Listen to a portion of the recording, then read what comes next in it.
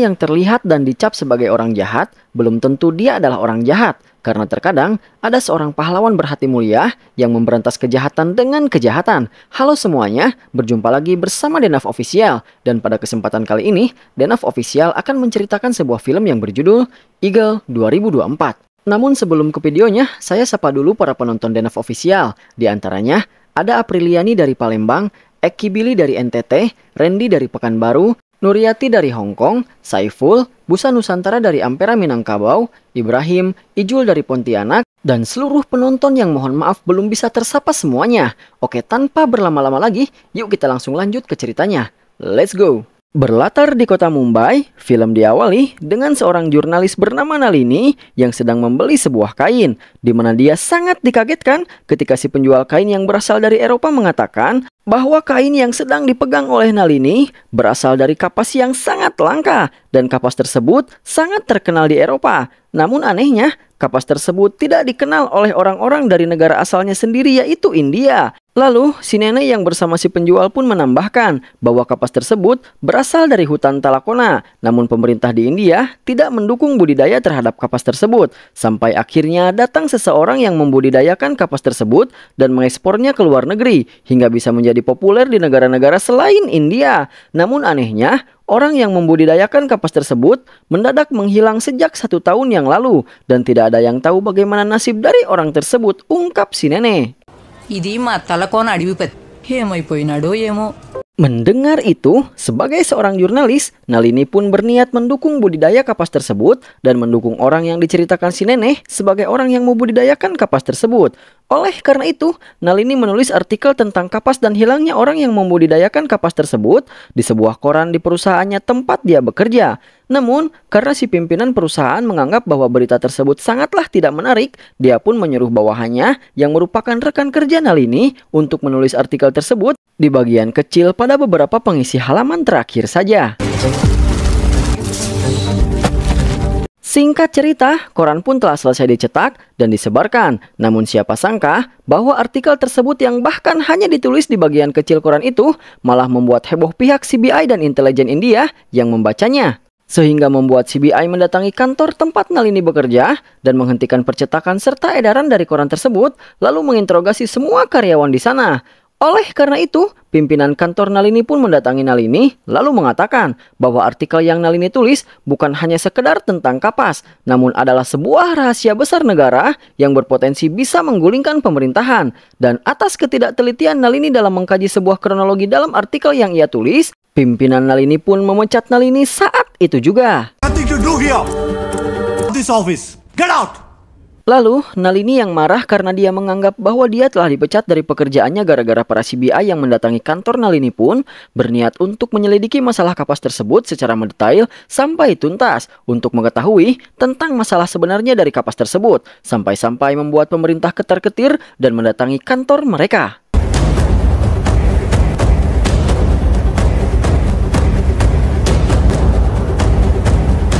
Oleh karena itu, Nalini pun pergi ke hutan Talakwana untuk mendatangi pabrik kapas tersebut. Namun sesampainya di lokasi pabrik, bangunan pabrik di sana sudah tidak ada lagi dan hanya menyisakan patung seseorang yang sangat dihormati oleh para warga sekitar di sana. Namun di saat Nalini menanyakan tentang tragedi apa yang sudah terjadi di sana satu tahun yang lalu, si bapak yang ditanya pun tidak menceritakan detail kepada Nalini dan hanya menceritakan sedikit tentang seorang pria yang sudah seperti dewa kematian.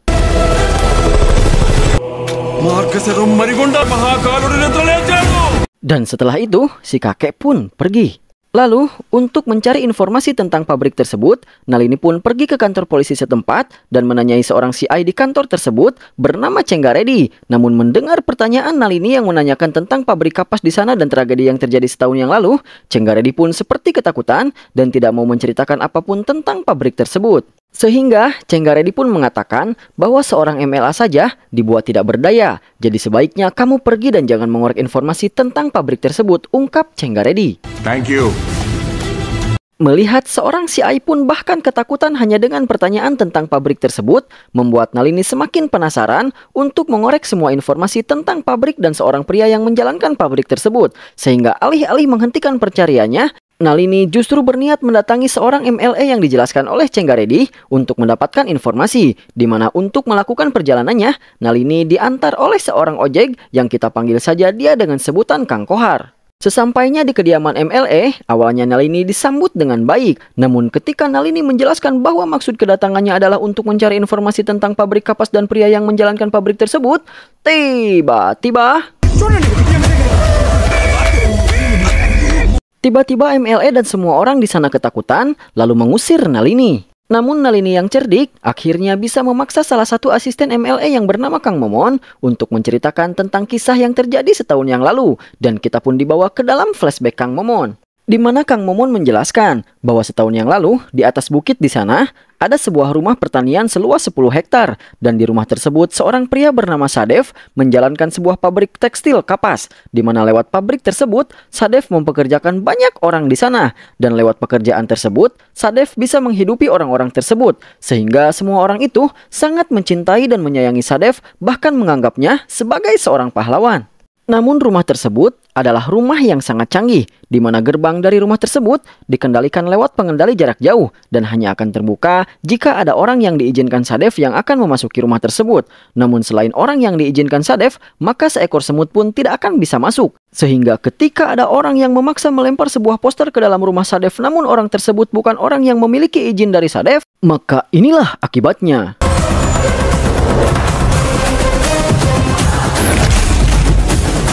Lalu, di suatu hari, MLE kedatangan seorang pengusaha kaya bernama Rajesh Rumani, di mana maksud kedatangan Rajesh adalah untuk membuat kesepakatan dengan MLE, di mana isi dari kesepakatan tersebut adalah bahwa MLE harus membuat Sadef mengosongkan seluruh rumah dan pabriknya, karena ternyata di dalam tanah di atas bukit yang didiami Sadef mengandung banyak bauksit yang sangat menguntungkan. Lalu Rajesh mengatakan kepada MLE jika MLE bisa membuat Sadef dan seluruh petani serta pekerja pabrik mengosongkan rumah dan tempat itu, maka Rajesh akan memberi MLE uang sebanyak miliaran rupiah. Mendengar kata miliaran rupiah, MLE pun tanpa pikir panjang langsung menerima tawaran dari Rajesh. Huh? Hmm? Mendengar penjelasan tersebut, Nalini pun menghentikan penjelasan dari Kang Momon dan menganggap bahwa Nalini sudah mengetahui akar permasalahan dari semua masalahnya, di mana Nalini menganggap bahwa akar permasalahannya adalah perebutan bauksit yang terdapat di bukit yang didiami Sadef. Lalu Nalini pun berniat pulang kembali ke Delhi. Namun di saat Nalini menaiki bis, ternyata dia sudah ditunggu oleh seorang agen Raw yang menyuruh Nalini untuk menghentikan aktivitasnya untuk menyelidiki informasi terkait Sadef. Lalu Nalini pun dibawa ke markas agen Raw bernama Pramod tersebut dan di sana Nalini diberi sebuah informasi oleh Pramod di mana menurut Pramod bahwa orang yang sedang dicari oleh Nalini bukan sekedar seorang petani bernama Sadef dan masalahnya bukan hanya sekedar bauksit tapi masalahnya jauh lebih besar dari sekedar apa yang diketahui oleh Nalini di mana orang yang bernama bernama Sadef tersebut adalah seorang pembunuh bayaran yang paling dicari oleh dunia dan dijuluki sebagai Eagle. Eagle? Eagle.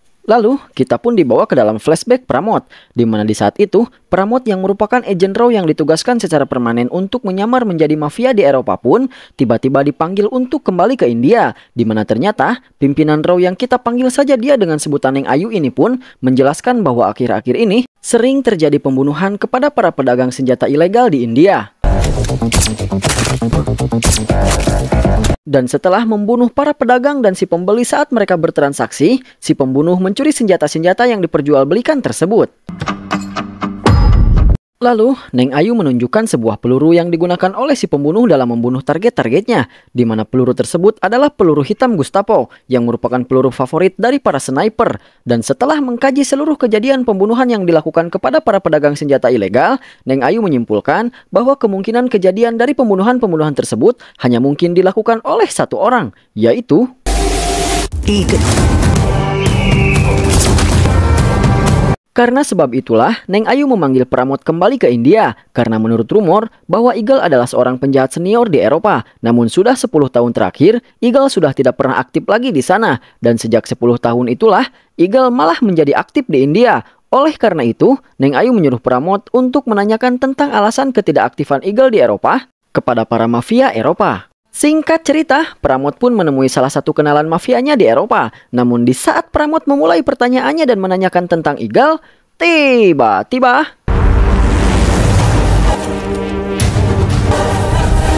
Tiba-tiba mafia yang kita panggil saja dia dengan sebutan Kang Emput pun panik dan luak lia ke kiri dan ke kanan, lalu mengajak Pramod ke sebuah tempat yang tertutup. Dan setelah sampai, Kang Emput menegur Pramod dengan mengatakan bahwa menanyakan informasi tentang Eagle di tempat terbuka, maka sama artinya dengan bunuh diri. Karena Eagle yang merupakan seorang sniper yang sangat berbahaya pun, bisa saja sedang mengawasi mereka di suatu tempat. Mendengar itu, Pramod pun seakan tidak percaya dan menganggap bahwa Kang Emput sangat berlebihan. Lalu, untuk meyakinkan Pramod, Kang Pud pun menceritakan sebuah kisah tentang Eagle, di mana sekitar 15 tahun yang lalu, ada seorang gerbong narkoba yang sangat kuat, di mana seluruh rumahnya merupakan rumah yang anti peluru dan memiliki empat lapis keamanan di sekelilingnya. Namun Eagle dapat membunuh gerbong narkoba tersebut dengan menembakkan peluru di antara celah kipas angin yang berputar dengan kecepatan 12 putaran per detik. Itulah Eagle, tidak peduli siapa pun targetnya, di saat dia menerima sebuah kontrak pembunuhan dari kliennya, maka orang tersebut sudah pasti mati, ungkap Kang Empud. Selain itu, Kang Empud juga menjelaskan bahwa gembong narkoba paling dicari di Meksiko yang saat ini menjadi target peramot bernama Bob Pascal memiliki seorang ayah bernama Pedro Pascal, di mana di saat itu Pedro membawa semua pasukannya untuk memburu Eagle di hutan.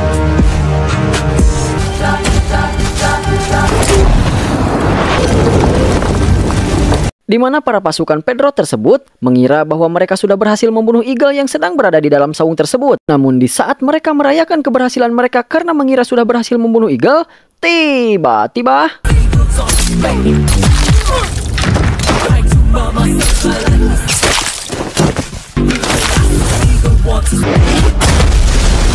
Tiba-tiba mereka pun diserang dan dibunuh oleh Eagle dari arah yang tidak mereka ketahui, sehingga membuat para prajurit bayaran Pedro lenyap tak tersisa. Lalu, setelah membunuh para prajuritnya, Eagle pun membunuh Pedro yang sedang menunggu di mobil. Walaupun tidak mendapatkan informasi yang ia cari, Pramod kembali ke India dengan informasi tentang seperti apa itu Eagle. Dan karena Eagle selalu menargetkan para pedagang senjata ilegal, Pramod menjelaskan kepada Neng Ayu bahwa untuk menelusuri Eagle, mereka harus mengetahui dan mengikuti orang-orang yang akan melakukan transaksi senjata ilegal. Dan singkat cerita, setelah lama menunggu, akhirnya Pramod pun mendapatkan sebuah informasi tentang sebuah transaksi senjata ilegal yang akan dilakukan. Oleh karena itu, Pramod pun memantau transaksi perjualbelian senjata ilegal tersebut. Dan seperti yang telah Pramod prediksi sebelumnya, bahwa anak buah dari Eagle datang untuk membunuh para penjual serta pembeli transaksi senjata ilegal tersebut. Lalu memindahkan semua senjata ilegal tersebut ke sebuah truk yang ia bawa. Lalu anak buah Eagle pun pergi membawa senjata-senjata tersebut dan Pramod langsung mengikuti anak buah Eagle tersebut. Sehingga dari hasil penguntitannya itu, membawa Pramod ke sebuah tempat dan mengetahui bahwa sosok dari Eagle ternyata adalah... Sadev. Dan begitulah akhir dari cerita Pramod. Lalu, setelah menceritakan bagaimana dia bisa mengetahui bahwa Sadev adalah Eagle sang pembunuh bayaran yang paling dicari oleh dunia pun, Pramod menyuruh Nalini yang merupakan seorang jurnalis untuk mengurungkan niatnya agar tidak menulis artikel apa pun tentang Sadev, Bauksit, dan apa pun yang berkaitan dengan Eagle. Namun, alih-alih menghentikan penyelidikannya, didatangi Pramod justru membuat Nalini semakin penasaran sehingga dia kembali mendatangi Kang Momon untuk menanyakan lanjutan cerita terkait Sadev dan kita pun kembali dibawa ke dalam flashback Kang Momon. Di mana beberapa hari setelah Rajesh menjalin kesepakatan dengan MLE, Rajesh kembali menelpon MLE untuk membatalkan kesepakatan tersebut. Karena menurut Rajesh, orang yang mendiami rumah di bukit yang mereka sangka adalah seorang petani pun ternyata bukan orang biasa. Dan Rajesh pun menceritakan alasan mengapa dia membatalkan kesepakatan tersebut. Di mana saat Rajesh berada di perusahaannya bersama para tentaranya, tiba-tiba...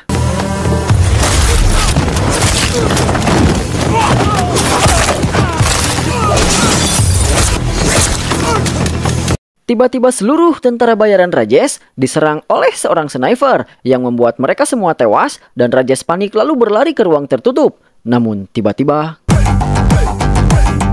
Tiba-tiba Sadev sudah berada di ruangan itu, lalu mengatakan bahwa penyerangan yang terjadi barusan adalah cara Sadev memperkenalkan diri. Lalu Sadev menyuruh Rajesh untuk menghentikan niatnya untuk berusaha membuat Sadev mengosongkan tempatnya agar Rajesh bisa menguasai bauksit di bukit yang saat ini ditempati oleh Sadev. Dan jika Rajesh masih memaksa, maka bersiaplah untuk dimusnahkan, ungkap Sadev yang membuat Rajesh ketakutan setengah mati di mana ancaman tersebut langsung membuat Rajes ketakutan lalu berjanji bahwa dia tidak akan pernah mencoba untuk menguasai bukit yang saat ini ditempati oleh Sadev lagi. Dan begitulah akhir dari cerita Rajes kepada MLE. Namun bukannya mendengarkan Rajes untuk menjauhi bauksit-bauksit yang berada di tempat Sadev, MLE justru sangat senang mendengar Rajes yang membatalkan niatnya untuk menguasai bauksit-bauksit tersebut. Karena dengan mundurnya Rajes, artinya MLE bisa menguasai seluruh bauksit yang ada di perbukitan tersebut.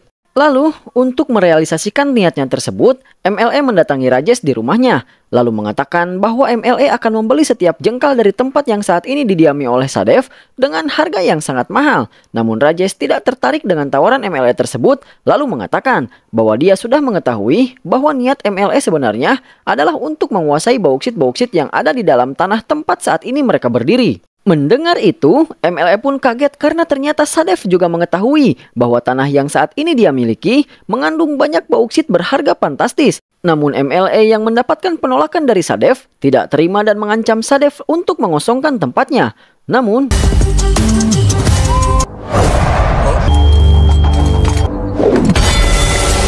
Namun Sadef tidak takut dengan ancaman tersebut, lalu mengusir MLA beserta antek-anteknya untuk pergi dari rumahnya. Kembali ke timeline utama, di mana Kang Momon berhenti bercerita karena dia dikagetkan dengan suara bel yang berbunyi. Lalu di saat itu, mereka dihampiri oleh Cenggal Reddy.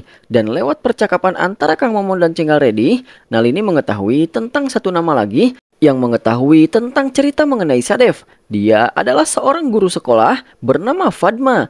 Oleh karena itu, di keesokan harinya, Nalini menemui Fadma untuk mengetahui cerita yang Fadma ketahui tentang Sadef. Lalu, kita pun dibawa ke dalam flashback Fadma, di mana ternyata dulunya Fadma merupakan seorang anggota dari sebuah organisasi bernama Naksal, di mana Naksal ini adalah sebuah organisasi pemberontak, dan untuk melakukan sebuah pemberontakan, maka Naksal membutuhkan banyak senjata. Dan oleh karena itu, Naksal bekerja sama dengan organisasi teroris yang dipimpin oleh seseorang bernama Altaf. Ini parasnya. Dan untuk mendapatkan pasokan senjata, Fadma pun dikirim oleh pimpinan Naksal untuk menemui Altaf di markasnya. Namun sesampainya di sana, Altaf mengatakan bahwa 12 transaksi senjatanya telah digagalkan oleh seseorang. Dan tidak hanya menggagalkan transaksinya, orang tersebut juga telah mencuri senjata-senjatanya, di mana total senjata Altaf yang telah dicuri adalah 10.000 senjata, ungkap Altaf. Oleh karena itu, Altaf sangat marah dan membenci orang yang telah menggagalkan transaksi dan mencuri senjata-senjatanya. Sehingga Altaf pun menugaskan Fadma untuk melacak dan menemukan orang yang telah mencuri senjata-senjatanya. Di mana untuk menemukan orang tersebut, Altaf telah menyusun sebuah rencana. Di mana rencana tersebut adalah Altaf akan melakukan sebuah transaksi senjata ilegal. Namun sebelum transaksi, Altaf terlebih dahulu menyimpan sebuah GPS di antara senjata-senjata tersebut, lalu memberikan sebuah alat yang terhubung dengan GPS tersebut kepada Fadma. Sehingga ketika Jay yang merupakan rekan Sadef kembali menggagalkan transaksi senjata-senjata tersebut lalu mencurinya dan membawanya ke tempat Sadef, Fadma bisa dengan mudah mengikuti senjata yang telah dibawa oleh Jay, di mana alat yang dibawa oleh Fadma tersebut menunjukkan dia jalan menuju tempat senjata-senjata itu dicuri, yang ternyata itu adalah rumah Sadef. Lalu, untuk menemukan tempat persembunyian senjatanya, Fadma yang merupakan warga sekitar hutan Talakona itu pun berpura-pura melamar menjadi pekerja pabrik kain Sadef. Dan tanpa banyak bertanya, Sadef pun menerima Fadma sebagai pekerjanya. Oleh karena itu, Fadma bisa dengan leluasa mencari lokasi tempat senjata-senjatanya disimpan. Namun setiap Fadma mencari senjata-senjata tersebut lewat alat yang terhubung ke GPS, alat itu selalu membawa Fadma ke pabrik kain. Namun di sana, Fadma tidak pernah bisa menemukan apa pun. Dan begitulah akhir dari cerita Fadma, di mana setelah selesai menceritakan ceritanya, Fadma pun pergi. Lalu, Nalini pun pulang bersama Kang Kohar, dan di perjalanan, Kang Kohar yang kasihan terhadap Nalini akhirnya membantu Nalini untuk menyelidiki informasi tentang Sadef, di mana Kang Kohar mengatakan bahwa di malam kehancuran pabrik milik Sadef, orang bernama Venkana dan Vencula sedang berada di bukit dan menyaksikan kejadian tersebut. Oleh karena itu, Kang Kohar pun berniat mengajak Nalini untuk menemui Venkana dan Vencula.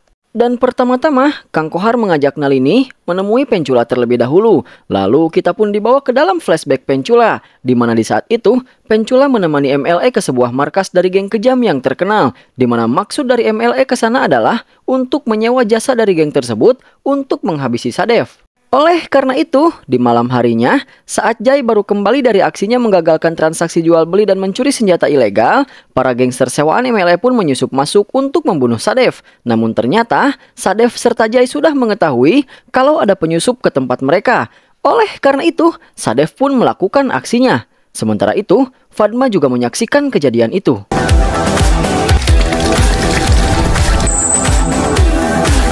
Straight west, 9 o'clock. Pull!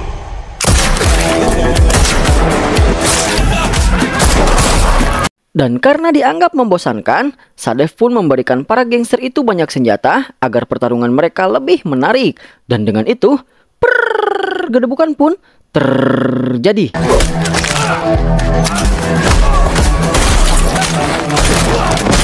Namun karena pertarungan tersebut menghancurkan tempat Sadev, Sadev pun menyuruh Jai untuk mengamankan senjata-senjata yang baru saja dia curi. Namun di saat Jai akan membawa senjata-senjata tersebut ke tempat penyimpanan senjata, Fadma masuk ke dalam truk untuk mengetahui lokasi penyimpanan senjatanya. Dan alangkah terkejutnya Fadma karena ternyata tempat penyimpanan senjatanya ada di ruang bawah tanah di bawah pabrik kain. Sehingga dengan itu, Fadma akhirnya mengerti mengapa dia selalu tidak bisa menemukan senjata-senjata tersebut meskipun sudah menggunakan GPS. Dan Fadma semakin dibuat terkejut ketika ternyata...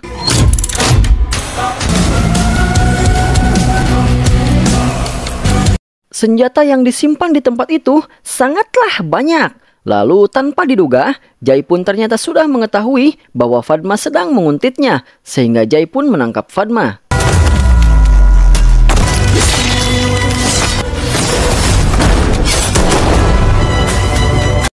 Kembali kepada Sadev, di mana Sadev berhasil menghabisi seluruh preman yang disewa oleh MLE yang berniat menghabisinya. Lalu, Sadev menghampiri Pencula yang juga ikut bersama para preman bayaran MLE untuk menghabisi Sadev dan menyuruh Pencula untuk membawa seluruh mayat dari para preman bayaran MLE keluar dari rumahnya. Dengan begitu, maka Sadev akan mengampuni nyawa Pencula, sehingga Pencula pun dengan ketakutan mengiyakan permintaan Sadev. Namun sebagai hukuman dari Sadev atas Pencula yang telah berani mengusiknya, Sadev pun Setelah menerima pendorododan di kakinya, Pencula pun pergi membawa mayat-mayat preman sewaan MLE keluar dari rumah Sadev dengan sebuah mobil. Lalu setelah di luar, Pencula meletakkan mobilnya dan berlari untuk melarikan diri dengan kaki yang terluka. Sehingga hal itu membuat MLE yang sedang menunggu di depan rumah Sadev untuk menyaksikan para preman bayarannya menghabisi Sadev menjadi heran dengan tingkah Pencula. Lalu MLE menyuruh Kang Momon untuk mengecek isi dari mobil yang dibawa oleh Pencula. Dan alangkah kagetnya MLE ketika ternyata Ternyata truk yang dibawa oleh Pencula berisi mayat-mayat dari para preman bayarannya, sehingga membuat MLE ketakutan dan berniat melarikan diri. Namun,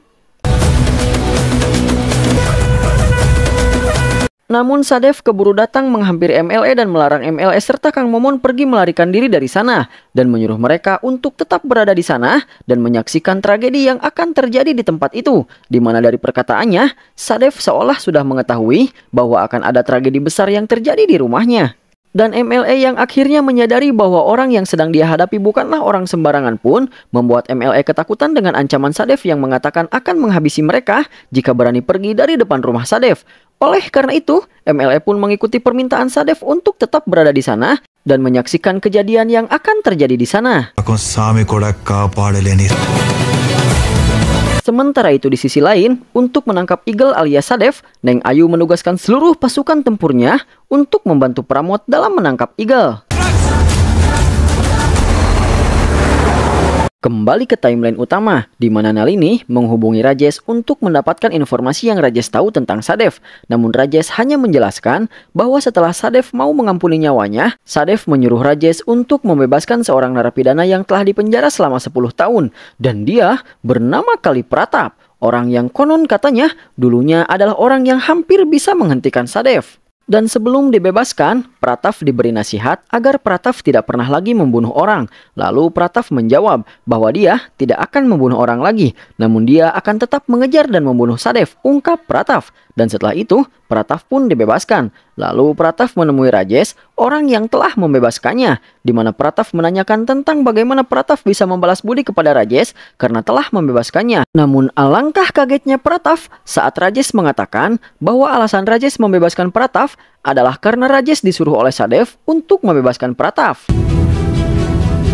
Dan begitulah akhir dari cerita Rajesh kepada Nalini. Lalu Nalini pun menulis semua petunjuk dan informasi terkait kejadian yang menimpa Sadev satu tahun yang lalu di dinding tempat tinggalnya. Dan ketika Nalini sedang menempelkan semua informasi yang ia dapatkan di dinding, dia didatangi oleh seorang bocil yang merupakan anak dari Venkana, yang juga menyaksikan kejadian kehancuran rumah dan pabrik Sadev satu tahun yang lalu. Semua itu disebabkan karena si bocil adalah anak dari Venkana, dan Venkana adalah orang yang berdagang di depan rumah Sadev, sehingga dia mengetahui dan menyaksikan tragedi yang terjadi kepada Sadev satu tahun yang lalu.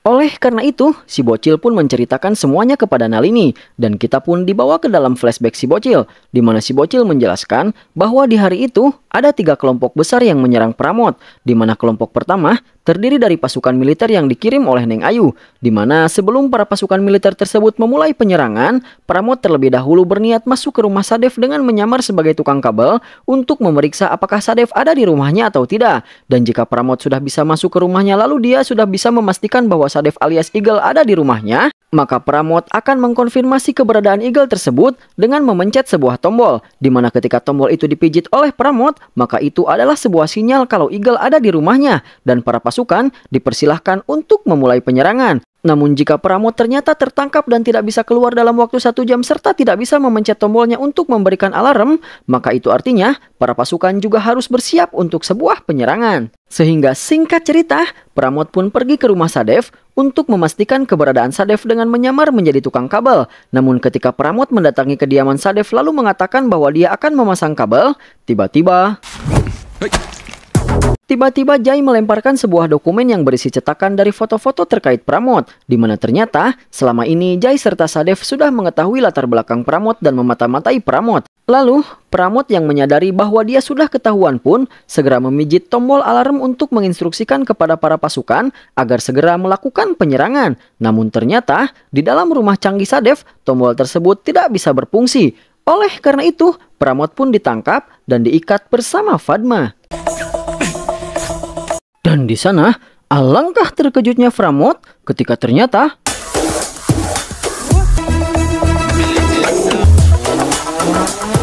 Ternyata seluruh pasukan militer yang dikirim Neng Ayu dan gerak-gerik mereka selama berkemah di sekitaran hutan Talakona demi menangkap Eagle alias Sadev sudah dipantau dan dimata-matai Sadev lewat sebuah kamera, sehingga gerak-gerik mereka selama ini sudah diketahui.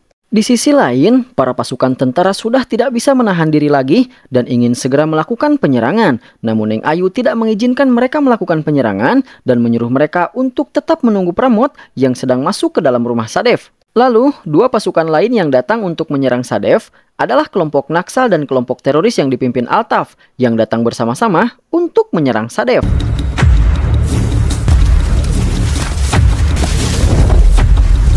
Hal itu membuat Sadev dan Jai segera bersiap-siap untuk menyambut kedatangan dari orang-orang yang ingin menyerang mereka. Lalu setelah persiapan mereka selesai, Sadev pun menyuruh Jai untuk memberikan sebuah sinyal alarm. Dan Venkana yang mengerti bahwa itu adalah tanda alarm bahaya pun mengajak MLE dan Kang Momon yang juga berada di sana karena disuruh Sadev untuk menyaksikan tragedi yang akan terjadi di sana untuk segera bersembunyi dan mengambil tempat aman. Lalu, Altaf yang sudah sampai di depan rumah Sadev pun segera menyuruh prajuritnya untuk segera memasuki rumah Sadev dan melakukan penyerangan.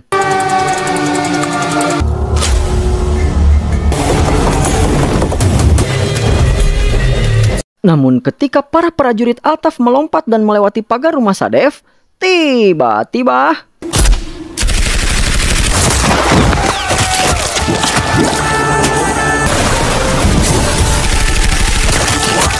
Tiba-tiba seluruh pasukan Altaf didorodot oleh Sadev dan seluruh senjata yang sudah Sadev rancang di seluruh penjuru rumahnya yang membuat pasukan Altaf tewas dan pergi ke alam barjah bahkan di saat mereka masih melompat dan belum sempat menginjakan kaki di tanah di rumah Sadev di mana hal itu membuat para pasukan yang dikirim oleh Neng Ayu serta Neng Ayu dan kawan-kawan yang menyaksikan kejadian tersebut lewat kamera yang dibawa oleh para pasukan pun sangat kaget dengan apa yang baru saja mereka lihat.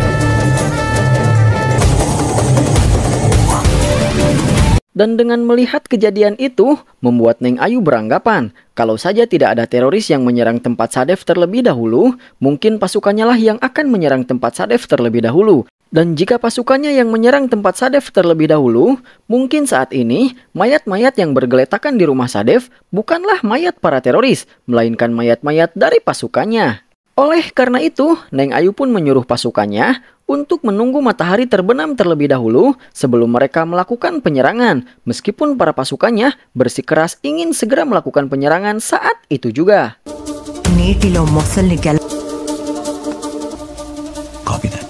Lalu, cerita si bocil pun terhenti karena Nalini yang mendapatkan sebuah telepon, di mana ternyata telepon tersebut adalah telepon yang menyuruh Nalini untuk mendatangi suatu tempat jika Nalini ingin mengetahui siapa pemilik tanah yang ditempati oleh Sadef untuk menjalankan pabrik kain tersebut. Karena ternyata, selama ini, selain menggali informasi tentang Sadef dari orang-orang yang mengetahui tentang cerita Sadef, Nalini pun juga mencari informasi tentang pemilik tanah yang ditempati oleh Sadef di hutan Talakona tersebut. Karena Nalini beranggapan bahwa dengan mengetahui informasi pemilik tanah tersebut, maka Nalini akan bisa mengetahui alasan sebenarnya dari Sadef dalam melakukan seluruh aksinya tersebut. Oleh karena itu, Nalini pun mendatangi tempat tersebut, dan dari sana dia mengetahui bahwa orang yang memiliki tanah yang Sadef tempati adalah seorang wanita bernama Racana. Lalu, dengan kenyataan yang baru saja dia ketahui tersebut, Nalini mendatangi Venkana untuk menanyakan tentang siapa sosok dari Racana tersebut dan di mana Racana berada saat ini. Namun Venkana mengatakan bahwa Racana bukanlah orang yang merupakan bagian dari kisah tersebut, melainkan orang yang menjadi alasan mengapa kisah tersebut bisa terjadi. Lalu Venkana mengatakan, jika Nalini ingin mengetahui tentang Racana, maka Nalini harus menemui rekan sekaligus sahabat Sadef, yaitu Jai. Mendengar itu, saya sebagai penonton pun kaget karena tadinya saya kira Jai sudah mati bersama Sadef dalam tragedi kehancuran rumah serta pabrik Sadef satu tahun yang lalu. Namun ternyata Jai masihlah hidup. Oleh karena itu, Nalini pun segera pergi ke Polandia untuk mencari Jai. Lalu dia menanyakan keberadaan Jai kepada orang-orang di sana dengan memperlihatkan foto dari Jai. Dan di saat Nalini sedang menanyakan keberadaan dari Jai kepada orang-orang lewat fotonya, tiba-tiba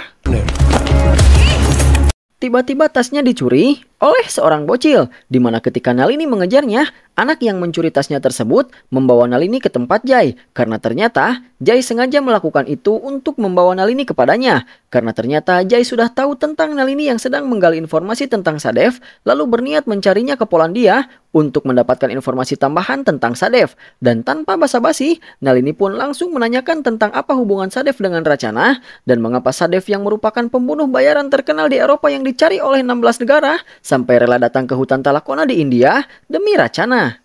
Lalu, Jai pun menceritakan kisahnya, dan kita pun dibawa ke dalam flashback Jai, di mana waktu itu, Jai dan Sadef yang merupakan pembunuh bayaran sedang mendapatkan kontrak untuk sebuah pembunuhan dari kliennya, di mana target orang yang harus mereka bunuh di saat itu adalah Prataf, yang mana ternyata Prataf dulunya adalah seorang polisi, dan di saat Sadef sudah bersiap untuk membunuh Prataf dengan senjatanya, tiba-tiba Tiba-tiba secara tidak sengaja, Prataf bertubrukan dengan seorang wanita cantik yang berhasil membuat Sadev deg-degser. Sehingga alih-alih membunuh Prataf, perhatian Sadev justru malah terfokuskan kepada wanita tersebut. Yang ternyata, wanita itu adalah Racana.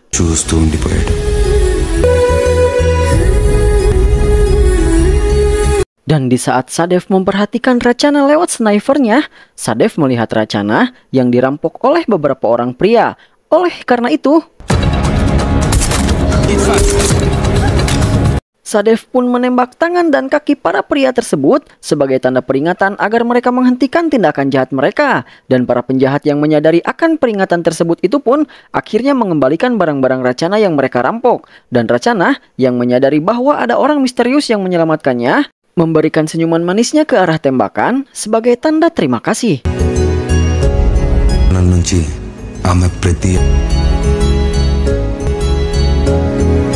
Di keesokan harinya, dari jauh, Sadef kembali memperhatikan Racana lewat snipernya.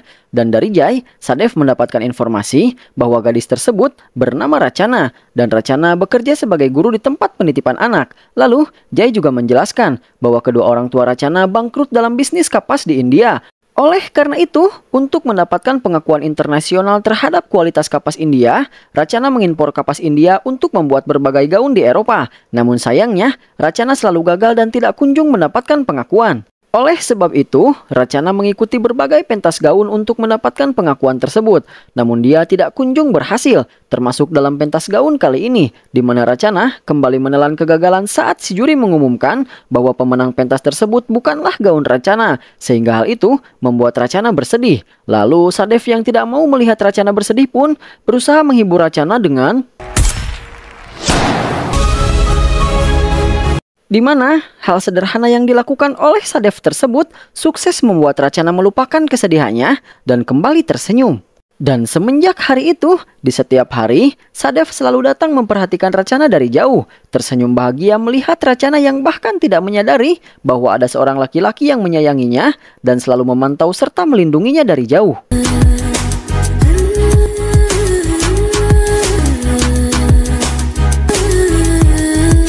Sampai akhirnya, salah satu bocil yang merupakan murid dari Racana menyadari bahwa setiap hari Sadef selalu datang ke dekat tempat penitipan anak hanya untuk sekedar memperhatikan dan melihat Racana. Oleh karena itu, si bocil yang bernama Suhana ini pun menghampiri Sadef dan mengatakan bahwa dia akan membantu Sadef dalam mendapatkan hati dari gurunya tersebut. Kenapa apa? Hey Romeo, I'll help you with your love. Just now, no line is sehingga sejak hari itu, Sadef, Jai, serta Suhana pun bersahabat dan selalu melihat Racana dari kejauhan. Lalu, di suatu momen, Suhana mengatakan bahwa hari ini Racana sedang bersedih karena kembali mendapatkan penolakan terhadap gaunnya lagi. Oleh karena itu, Suhana menyuruh Sadef untuk menghibur gurunya itu. Sehingga Sadef pun menembak apa yang berada di dekat Racana dan mengagetkan Racana namun bisa membuat Racana tersenyum bahagia. Oleh karena itu, sejak hari itu, Racana akhirnya menyadari bahwa sniper misterius yang telah menolongnya selalu memperhatikannya, selalu menjaganya, dan selalu menghiburnya dari jauh. Di mana hal itu membuat Racana sangat senang dan mulai berbunga-bunga dengan perhatian yang ditunjukkan oleh Sadef tersebut. Bahkan, Racana selalu membuat video yang menceritakan perasaannya terhadap apa yang dilakukan oleh Sadef. Dan oleh karena itu, tanpa melihat seperti apa sosok dari Sadef, Racana sudah mulai merasakan perasaan cinta kepada Sadef. Bahkan, Racana yang sudah tahu bahwa Sadef selalu memperhatikannya dari jauh, selalu memperlihatkan dirinya agar Sadef selalu bisa melihatnya.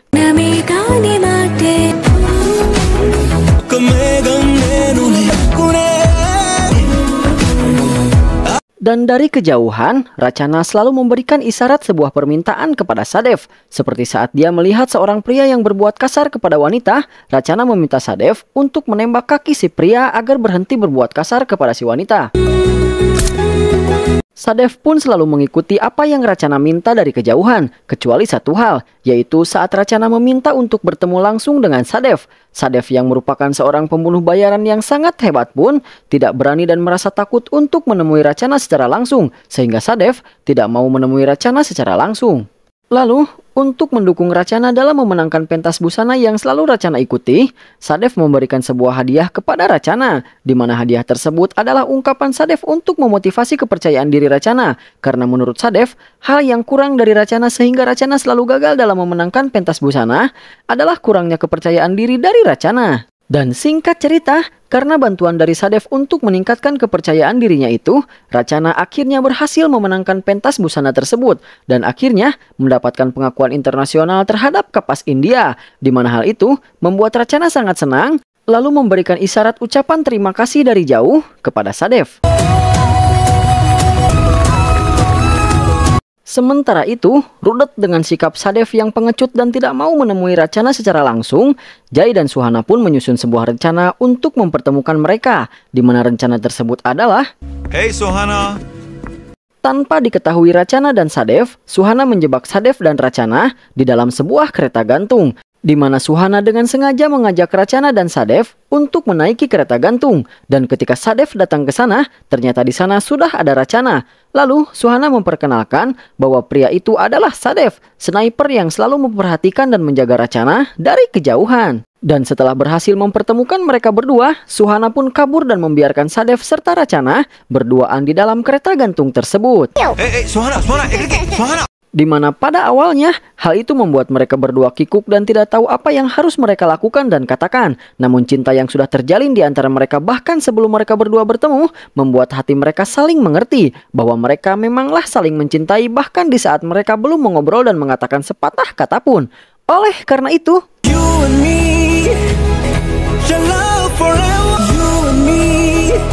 Sadef serta Racana pun akhirnya menikah, hidup bersama, menjalani hari-hari dengan bahagia bersama, dan pada akhirnya Racana pun hamil. Namun meski begitu, Racana tidak pernah mengetahui bahwa profesi sebenarnya dari Sadef adalah pembunuh bayaran karena Sadef tidak pernah jujur terhadap profesinya tersebut, di mana Sadef mengatakan kepada Racana bahwa profesinya adalah seorang agen rahasia kepolisian yang bertugas di balik bayang-bayang sebagai seorang penembak jitu. Lalu, cerita pun berakhir karena Nalini yang mendapatkan telepon dari Pramod yang ternyata mengetahui bahwa Nalini sedang menemui Jai. Oleh karena itu, Pramod mengatakan kepada Nalini agar Nalini segera menghentikan perbincangannya dengan Jai dan segera kembali ke India. Karena jika Nalini terus meneruskan perbincangannya dengan Jai dan ketahuan oleh aparat India, maka Nalini akan dipenjara dengan hukuman yang sangat berat karena telah berani menemui dan berbincang dengan Jai yang merupakan seseorang yang telah dianggap sebagai penjahat besar oleh India. Oleh karena itu, Nalini pun segera mengakhiri perbincangannya dengan Jai dan memutuskan untuk segera kembali ke India. Namun sebelum kembali, Nalini terlebih dahulu menanyakan tentang satu kisah lagi terhadap Jai. Namun kali ini, kisah itu belum diperlihatkan dan kita kembali dibawa ke India dengan si bocil yang kembali meneruskan ceritanya. Di mana di malam itu, MLE Kang Kohar serta Venkana masih berbaring untuk melindungi diri agar tidak terkena tembakan. Namun kali ini juga ada Cenggal Ready yang berniat menjemput MLE namun malah terjebak dalam situasi itu. Lalu, para pasukan tentara kiriman Neng Ayu mulai menerbangkan sebuah drone untuk mengintai situasinya. Dan setelah itu, peperangan antara Sadef melawan pasukan India pun terjadi. Protein nih. Namun sayangnya, dalam peperangan ini, Sadev yang mengetahui bahwa pasukan India bukanlah orang jahat pun tidak mau membunuh para pasukan tentara tersebut, sehingga Sadev hanya mengarahkan tembakan-tembakannya kepada kaki dari para pasukan tentara itu. Oleh karena itu, membuat Sadev berada dalam kesulitan karena pasukan tentara yang berniat menghabisi Sadev, sementara Sadev yang hanya ingin membuat mundur para pasukan tentara tanpa harus membunuh mereka. Oleh karena itu, membuat pasukan tentara berhasil menembus pertahanan rumah Sadef dengan melemparkan smoke bom yang menghalangi pandangan Sadef, serta kedatangan sebuah helikopter yang ikut menyerbu Sadef.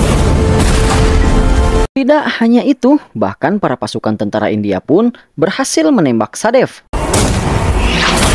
Di mana kejadian itu disaksikan langsung oleh Neng Ayu dari kantor dan Pramod serta Fadma dari tempat mereka ditahan. Dan dalam situasi ini, kita pun diperlihatkan dengan kisah terakhir yang diceritakan Jai kepada Nalini, di mana di saat Sadef mengantarkan istrinya yang sedang hamil ke tempat kerjanya, lalu Sadef pergi dari tempat itu, tempat penitipan anak tersebut, kedatangan para teroris dan terjadi sebuah peperangan antara teroris. Di mana hal itu membuat 18 orang anak termasuk Suhana meninggal dunia dan membuat Sadef yang berniat menjemput istrinya untuk pulang sangat kaget dan bersedih atas kejadian itu.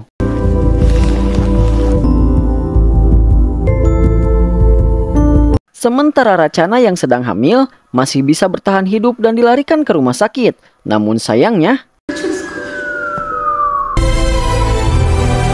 Racana tidak bisa diselamatkan dan meninggal dunia. Hal itu membuat Sadef bersedih dan menjadi sangat marah lalu menyuruh Jai untuk menemukan pelaku pembunuhan tersebut dalam waktu 24 jam. Dan alangkah terkejutnya Sadef saat mengetahui bahwa orang-orang yang telah membunuh Suhana dan Racana adalah sebuah kelompok yang telah menyewa jasa Sadef 6 bulan sebelum kejadian yang merenggut nyawa Racana dan Suhana, di mana kelompok tersebut menyewa Sadef untuk menjaga mereka dalam melakukan transaksi senjata ilegal dan menghadang setiap orang yang datang untuk menghentikan transaksi tersebut. Di mana di saat itu, Prataf yang merupakan seorang kepala polisi datang untuk menghentikan transaksi senjata ilegal tersebut. Namun Sadef menghalangi Prataf untuk melakukan aksinya tanpa membunuh Prataf. Karena Sadef tahu bahwa Prataf adalah ayah Suhana. Oleh karena itu, para kelompok teroris itu pun bisa melarikan diri dengan membawa senjata-senjata ilegal tersebut. Dan oleh sebab itu, alangkah menyesalnya Sadef karena gara-gara dirinya yang membantu kelompok teroris tersebut dalam transaksi senjata, akhirnya kelompok teroris tersebut mempunyai banyak senjata dan melakukan peperangan yang akhirnya membunuh istrinya sendiri. Oleh karena itu, Sadef menyadari akan satu hal, yaitu jika senjata jatuh ke tangan orang yang salah, maka senjata-senjata tersebut akan menjadi malapetaka bagi banyak orang yang tidak bersalah. Sehingga sejak hari itu Sadef bukan lagi Sadef yang dulu karena dia sudah menjadi Sadef yang penyendiri dan diselimuti banyak kesedihan dan rasa bersalah atas meninggalnya istrinya dan Suhana.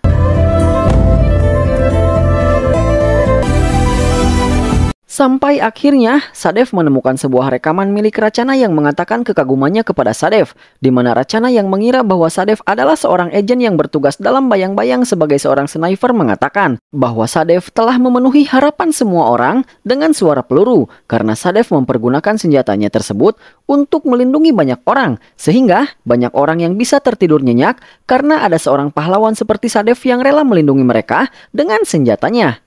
Oleh karena itu, Racana sangat bangga kepada Sadef karena suaminya adalah seorang pahlawan meskipun tidak ada orang yang mengetahui semua itu. Lalu di akhir video, Racana mengatakan bahwa orang yang menciptakan kehancuran dengan senjata, maka orang itu disebut iblis. Namun orang yang menghentikan kejahatan dan kehancuran dengan senjata, maka dia disebut sebagai dewa. Dan karena melihat video tersebut, membuat Sadef sangat sedih dan kecewa terhadap dirinya sendiri. Karena selama ini, dia telah membohongi istrinya, sehingga membuat istrinya mengira bahwa dia merupakan seorang pahlawan. Padahal sebenarnya, Sadef hanyalah seorang pembunuh bayaran. Oleh karena itu, sejak hari itu, Sadef bertekad untuk menjadi seseorang sesuai dengan yang diinginkan istrinya, yaitu menjadi sosok pahlawan di balik bayangan yang menyelamatkan banyak orang lewat senjatanya. Sehingga dia bertekad untuk menghentikan banyak aksi transaksi senjata ilegal, untuk menghentikan banyak senjata yang jatuh ke tangan orang yang salah.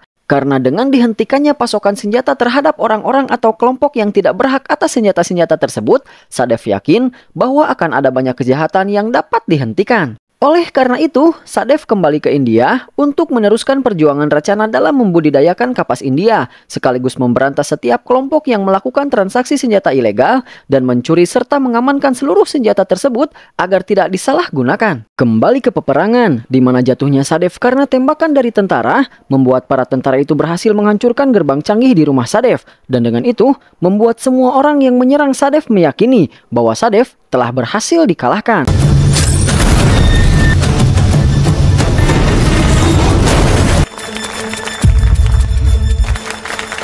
Oleh karena itu, pasukan Altaf yang tersisa pun berniat memanfaatkan keadaan dengan kekalahan Sadef tersebut untuk masuk ke dalam rumah Sadef dan mencuri seluruh senjata yang disimpan oleh Sadef. Namun ketika semua orang menyangka Sadef telah kalah dan para teroris berniat masuk ke rumah Sadef untuk mengambil semua senjata yang disimpan oleh Sadef, tiba-tiba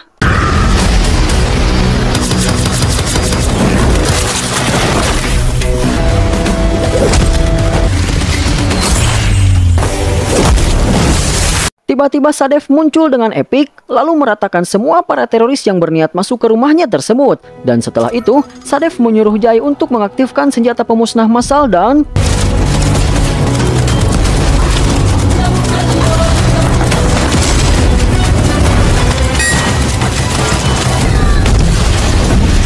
dan membuat semua orang yang berniat menyerangnya menyadari bahwa mereka tidak mungkin bisa mengalahkan Sadef. Oleh karena itu, akhirnya semua pasukan Naksal dan tentara yang masih tersisa pun memutuskan untuk tidak melanjutkan penyerangan. Lalu pemimpin dari pasukan tentara mengatakan kepada Neng Ayu bahwa satu-satunya cara untuk mengalahkan Sadef adalah dengan mengirim pasukan udara untuk meledakkan tempat Sadef tersebut. Oleh karena itu, pemerintah India pun memutuskan untuk mengirim pasukan udara dan meluncurkan rudal untuk menghancurkan tempat Sadef. Sementara itu, Sadef bersama Jai yang sedang melakukan operasi pengeluaran peluru di dada Sadef ditanyai oleh Pramod tentang apa sebenarnya yang menjadi tujuan Sadef dengan mencuri lebih dari 100 ribu senjata dalam 10 tahun terakhir tersebut. Lalu, Sadef menjelaskan bahwa ada lebih dari satu juta senjata yang diproduksi dalam setiap tahun, sementara senjata yang mampu dibeli oleh negara hanya setengahnya saja, dan setengahnya lagi dijual di pasar gelap. Dan dengan senjata-senjata yang dijual di pasar gelap itulah banyak kejahatan dan pembunuhan yang terjadi. Oleh karena itu, harus ada sesuatu yang menghentikan kejahatan-kejahatan itu. Dan aku akan menghentikan kejahatan serta pembunuhan-pembunuhan tersebut, ungkap Sadef. Di mana ungkapan dari Sadef tersebut membuat Pramod dan Padma mengetahui tentang tujuan Sadef, sehingga membuat mereka bisa menyimpulkan bahwa Sadef bukanlah orang jahat. Lalu, setelah menjelaskan tujuannya kepada Pramod dan Padma, Jai mengatakan kepada Sadef bahwa Pratap datang ke rumah Sadef, di mana bisa kita lihat bahwa di wajah Pratap menyimpan sejuta kebencian terhadap Sadef. Dan di sini, kita pun dibawa ke dalam flashback Pratap, di mana Pratap yang sangat sedih karena kematian Suhana putrinya pun menjadi sangat stres. Oleh karena itu, Pratap pun membunuh semua teroris yang menyebabkan kematian putrinya itu. Meskipun sebenarnya, para teroris itu sudah ditangkap oleh polisi. Dan oleh karena apa yang telah dilakukan oleh Pratap tersebut, membuat dia dipecat dari kepolisian dan dimasukkan ke dalam penjara, di mana hal itu membuat hidup Pratap hancur dan selalu menyimpan dendam kepada Sadef. Karena Pratap menganggap bahwa gara-gara Sadef yang telah membantu para teroris tersebut dalam transaksi senjata ilegal, membuat para teroris tersebut mendapatkan senjata sehingga membuat kejahatan dan merenggut nyawa putrinya. Lalu, Sadef yang melihat kedatangan Prataf pun mempersilahkan Prataf untuk masuk. Dan tanpa basa-basi, Prataf yang menyimpan banyak kebencian terhadap Sadef pun langsung menghajar Sadef habis-habisan. Sementara Sadef sedikit pun tidak mau melawan dengan apa yang dilakukan oleh Prataf kepadanya.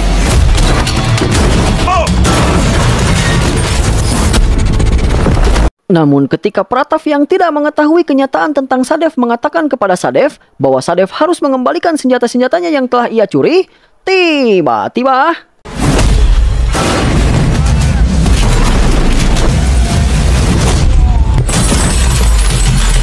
Tiba-tiba Sadef bangkit dan balik menghajar Prataf hingga tak berdaya dan menyombongkan dirinya dengan mengatakan bahwa 12 biro intelijen dan 16 negara pun tidak bisa menghentikan Sadef dalam mencuri senjata-senjata tersebut. Lalu bagaimana bisa kau menghentikanku? Ungkap Sadef. Dan setelah mengalahkan Prataf, Sadef pun merangkul Prataf dan menjelaskan bahwa selama ini Prataf selalu hidup dalam bayang-bayang balas dendam. Namun mulai sekarang dan seterusnya, Prataf harus hidup untuk sebuah cinta. Karena dalam diri Prataf ada jiwa seorang ayah penyayang yang didambakan oleh semua anak. Lalu, Sadef menjelaskan bahwa saat Sadef berhasil menembak sasarannya, itu adalah bisnis. Namun saat Sadef meleset dalam menembak sasarannya, itu adalah tujuannya. Karena Sadef sengaja membuatnya meleset. Itulah sebabnya Prataf masih hidup sampai saat ini. Bukan karena Sadef tidak bisa membunuhnya, melainkan Sadef sengaja membiarkan Prataf hidup demi sebuah kehidupan yang telah menunggunya. Dan itu merupakan hadiah dari Sadef untuk Prataf. Cerita dari Jai pun berakhir di sana. Dan untuk mengetahui kelanjutan ceritanya, Jai menyuruh Nalini untuk menemui Prataf. Dan singkat cerita, Nalini pun telah bertemu Prataf lalu menanyakan tentang apa yang dimaksud hadiah dari Sadev untuk Prataf. Lalu, Prataf pun menjelaskan bahwa hadiah itu adalah...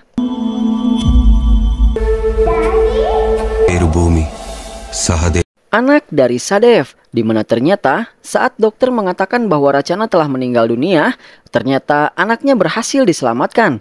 Lalu, Sadef membesarkan putrinya tersebut dengan menjelaskan kepada putrinya itu bahwa ayah dari putrinya adalah Prataf dan bukan Sadef. Dengan demikian, selama hidupnya, putrinya mengira bahwa ayahnya bukanlah Sadef melainkan Prataf. Dan oleh karena itu, dendam dalam diri Prataf untuk Sadef pun lenyap seketika.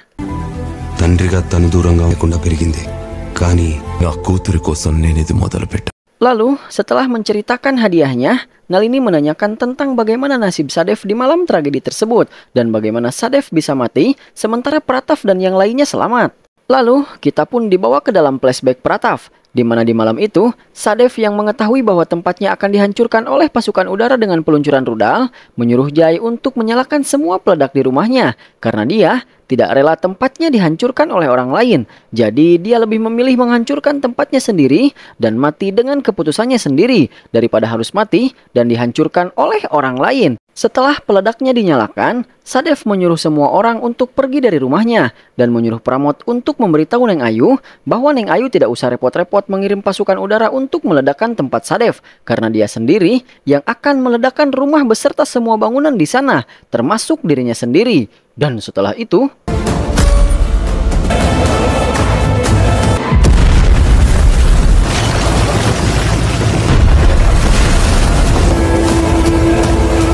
Setelah beberapa waktu, Neng Ayu menjelaskan kepada Pramod bahwa Untuk memastikan kematian Sadef, Neng Ayu beserta timnya mendatangi sisa-sisa ledakan rumah Sadef untuk mencari mayatnya. Namun anehnya, Neng Ayu tidak pernah bisa menemukan mayat Sadef di sana, sehingga Neng Ayu beranggapan bahwa Sadef belumlah mati, melainkan dia memalsukan kematiannya untuk mengelabui pemerintah India dan semua orang. Karena bagaimana mungkin orang yang sudah merencanakan semua hal dengan sangat matang bisa mati semudah itu. Hal itu membuat Neng Ayu berpikir bahwa mungkin sebenarnya Sadef sudah merencanakan peledakan itu dari jauh-jauh hari untuk memalsukan kematiannya.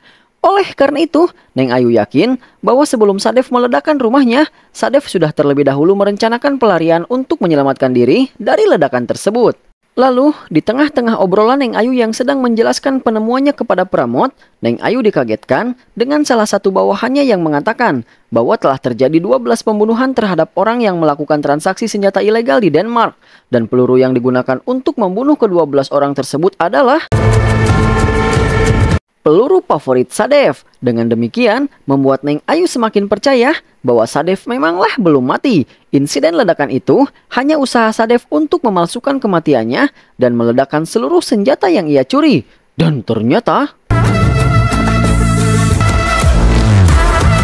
Teori Neng Ayu tersebut 100% benar karena alih-alih menyusul Racana ke akhirat, Sadef lebih memilih meneruskan impian Racana yang menginginkan Sadef menjadi pahlawan dan memberantas setiap orang yang berniat melakukan transaksi senjata ilegal untuk menghentikan banyak kejahatan. Di mana kali ini, setelah memberantas dan mencuri setiap senjata ilegal yang ada di India, Sadef pergi ke Denmark untuk melakukan hal yang sama di Denmark.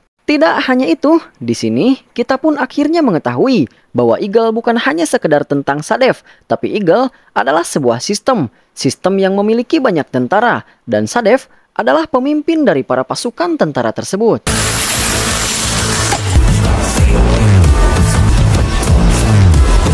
Dan begitulah akhir dari cerita Prataf, di mana Nalini yang mendengar kehebatan Sadef mengatakan kepada Prataf bahwa Nalini ingin bertemu dengan Sadef. Namun Prataf mengatakan bahwa Sadef tidak bisa ditemui. Namun Prataf yakin bahwa kali ini Sadef pasti sedang memperhatikan mereka berdua di suatu tempat. Dan ternyata ucapan Prataf itu memanglah benar. Singkat cerita, Nalini pun kembali ke India dan menerbitkan sebuah buku dari kisah Sadef. Dan buku tersebut diberi judul Eagle. Dan dengan itu, film pun sudah berakhir.